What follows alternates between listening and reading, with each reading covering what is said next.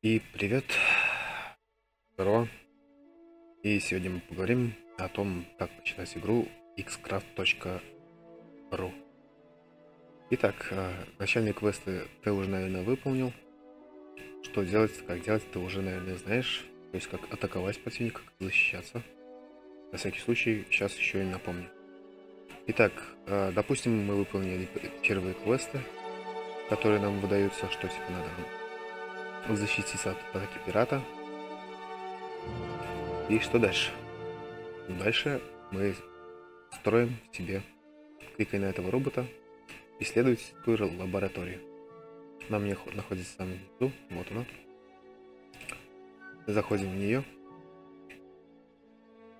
и изучаем технологию брони и щитовую технологию. Насколько это можно себе позволить. Желательно, чтобы хватило на колонизационную технологию, то есть считала технология в 4, технология брони 5. Ну, пока если у тебя нет ресурсов, чтобы это все изучать, ты можешь построить себе флот, будь то это истребители или викинги. На начальном этапе это как-то не особо-то и важно. Стреляют они немного по-разному. Это стреляет 25 за раунд, это 50 за раунд. Раунд длится 50 секунд. То есть викинг стреляет раз в 20 секунд один раз, и бьет он изначально 6, без каких-либо технологий. Итак, допустим, у тебя есть небольшой флот.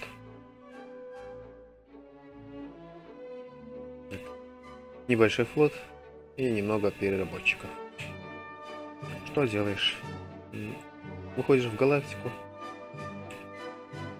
и смотришь. Вот твоя планета.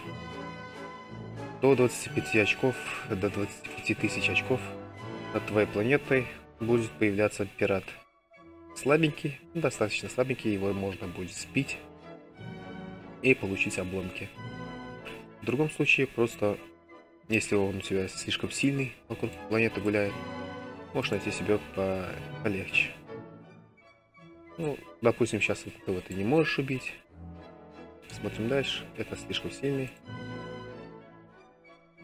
Но чтобы так не искать, ты можешь перейти в фильтры, установить на пиратов и просто сделать вот так. 100 очков. Применяем. Итак, у нас подсвечиваются пираты, которые до 100 очков. Итак, смотрим. Вот у нас есть пират 44 очка. Атакуем. Выбираем флот. Я на всякий случай всех отправлю. Даже этого возьму отправлю. Кстати, потребление топлива у них тоже есть. У истребителя это 2.66 у меня сейчас. И считается это за 1000 УКМ. То есть 1000 УКМ это как пояснить. Тысяча УКМ это, допустим, твоя планета здесь, а здесь другая планета. Ну, в худшем случае, вот у меня здесь планета, а здесь другая планета. Расстояние до нее тысяча. Тысяча УКМ. Так, сейчас такую. Выбираю флот и отправляем. Все, ждем 7 минут. А за это время мы строим переработчика. Сейчас у меня ресурсов нету. По крайней мере металла, чтобы построить переработчик. В лучшем случае ты можешь перейти в премиум и взять там бесплатный набор с переработчиками. Бесплатный набор работает до 25 тысяч очков. Чтобы узнать, сколько у тебя очков, можешь перейти в обзор. Из-за того, что у меня сейчас интернет слабый, немного лагает. Вот, у меня 42, 42 966 очков. Итак, допустим, ты построил или взял себе переработчика. Тоже заходишь в галактику, и ищешь обломки. Обломки, допустим, от одного. Да. Смотришь вот так галактику, и вот видишь вот эти вот кольца. Эти кольца и есть обломки. Вот обломки, ресурсы на орбите, 200 минералов. Убив пирата будет еще больше. Просто берешь. Самое быстрое это нажать на эту кнопку. Он отправит минимальное количество, которое нужно для сбора этих обломков переработчиков. Ну, вот переработчик полетит, заберет эти обломки. Примерно где-то за минуту. И улетит обратно в своясь. На данный момент мне понадобится два переработчика, чтобы собрать весь металлолом с этих пиратов, которые будут убиты. Ну, я на всякий случай могу отправить побольше, потому что кто знает, умрет ли какой-нибудь из этих кораблей. Поэтому, наверное, 3-4 штучки хватит. Итак, э, пока мы ждем, я поставлю на... Хотел бы поставить на паузу, но скажу еще что. Так. Иду я на планету.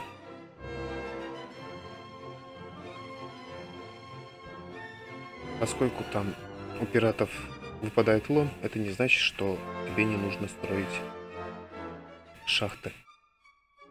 Да закройся. Шахта, вот, шахта металла. Она вырабатывает тебе энное количество металла в час. Это уже смотря на какой уровень. Также есть рудник минералов. Вот он. И также есть колодец для, для добычи металла и кристального озера. Также есть скважина газа Веспин.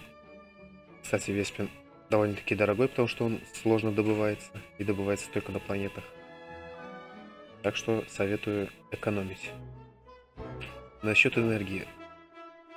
В самом начале лучше всего ставить солнечную панель. Только это уже не знаю, где у меня солнечная панель, вот она. Она ничего не хочет, только хочет немного ресурсов, чтобы улучшение. И вырабатывает энергию из солнечного, солнечного света. Это, конечно же, еще влияет на позицию планеты. Чем ближе планета к своему светилу, тем больше вырабатывается. Также есть термоядерная электростанция, которая вырабатывает намного больше энергии, чем солнечная электростанция, но потребляет газ Веспин. В лучшем случае, если э, не хочется улучшать солнечную электростанцию или термоядерную электростанцию, можно перейти вверх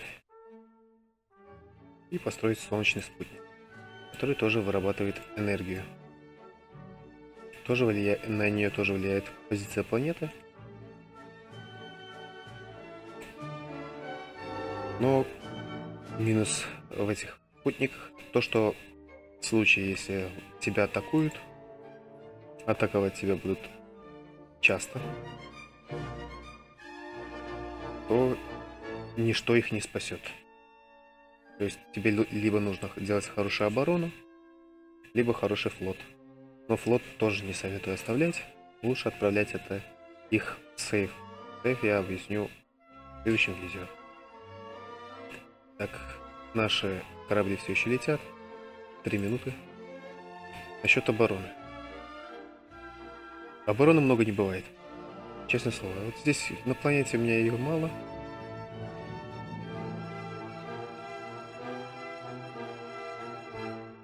А вот здесь уже чуть-чуть более-менее лучше.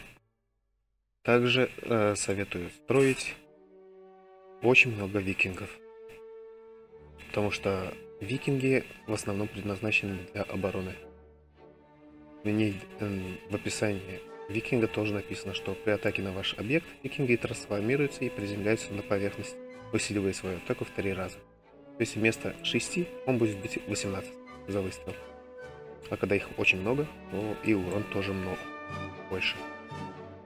Также они не, не дают обломков противнику и не дают боевого опыта.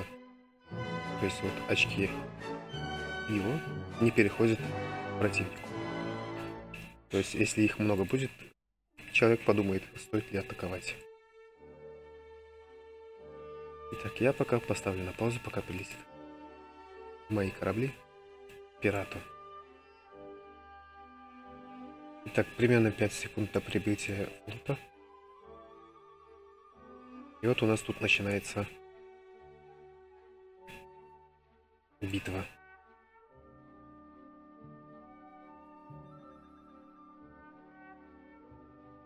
Как мы видим, вот у нас битва началась. Мы, конечно, можем управлять ходом битвы, чтобы было меньше потерь. Что я и сделаю. Потому что никто не хочет потерять свой флот. Я тоже.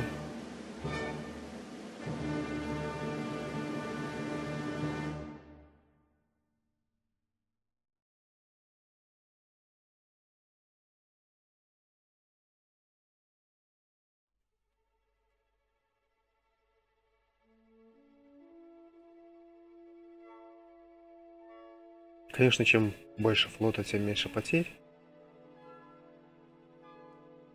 Вот, как мы видим, мы победили. У нас э, образовалось энное количество обломков. Закрываем вкладку. И вот наши обломки. Теперь мы можем нажать на эту кнопку, отправиться в минимальное количество. В моем случае это два. Два переработчика полетит туда и соберет обломки. Либо мы можем вручную выбрать в два или в три раза больше э, переработчиков, чтобы они собрали все это быстрее. Ну, я отправлю самую минимальную. Так, ну, конечно. Не то место я выбрал. Место отправки. Отправляем переработчиков. Вот два переработчика полетели на эти координаты собирать обломки. Ну вот, И теперь, допустим, у нас уже есть ресурсы. Мы построили себе колонизатор. Что теперь с ним делать? Ну, во-первых, ты можешь оставить его на планете, он увеличит вместимость э, ресурсов, которые ты можешь хранить на планете. В лучшем случае они у тебя перестанут собираться. Но в лучшем случае они перестанут собираться, в худшем случае они будут выветриваться, то есть исчезать. Так, Выбираешь себе хорошую такую планету по вкусу. Конечно, у, у некоторых планет есть свои бонусы, но я выберу так случайно. Допустим, вот эту вот планету. Нажмем на колонизацию. Выбираем колонизатор. На всякий случай жмем колонизация. И отправляем корабль.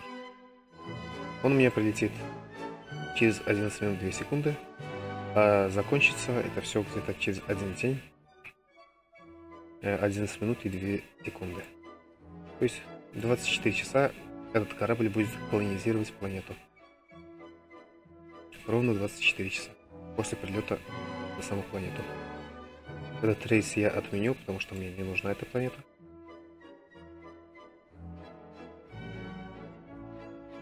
Итак, допустим, ты колонизировал планету что делать дальше? Так. Во-первых, входишь в обзор. И смотришь сразу же на количество полей для строительства. В идеале должно быть 300 а, с лишним полей. В худшем случае 290. Ну, не самым худшим, но так сойдет. Это, ну, на мало так сойдет. Это будет 290 полей а не вот такое вот количество. Если видишь такую планету, сразу жмешь на эту кнопку. Покинуть планету. Вводишь пароль от аккаунта и удаляешь. Я эту планету удалить не могу. Да, она мне еще и нужна. Ну а так, теперь ты знаешь, как колонизировать и как выбирать планету. Итак, еще что могу сказать. Э, по возможности улучшаю фабрику роботов. По возможности улучшаю верь. И исследовательскую лабораторию. Насчет пси-диструптора я уже расскажу в следующем видео.